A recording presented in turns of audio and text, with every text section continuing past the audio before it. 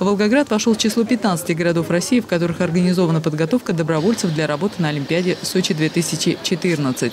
Это обучение будет проходить на базе Волгоградского государственного университета. Мы не случайно, наверное, мы так предполагаем, выиграли этот проект, потому что у нас уже более трех лет работает очень интересное студенческое волонтерское объединение «Прорыв».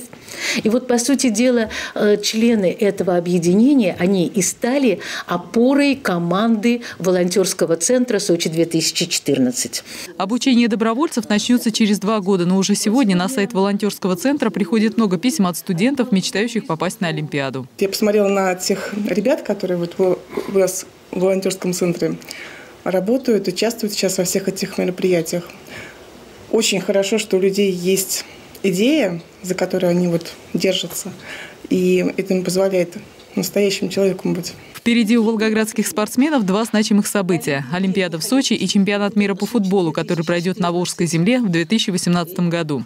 Это хороший толчок для развития массового спорта, уверены власти областного центра. Самое главное – это э, в том стимуле, который э, волгоградцы, спортсмены, молодежь, все кто неравнодушен к занятиям физической культуры, э, будут настроены на победы, на участие, на то, чтобы э, услышать новые имена, новых победителей. В день символической даты, тысячи дней до начала соревнований, она приходится на 14 мая, волгоградцы станут участниками Всероссийского марафона «Тысяча добрых дел Олимпиаде». В его рамках пройдут акции социальной, экологической, спортивной и культурной направленности.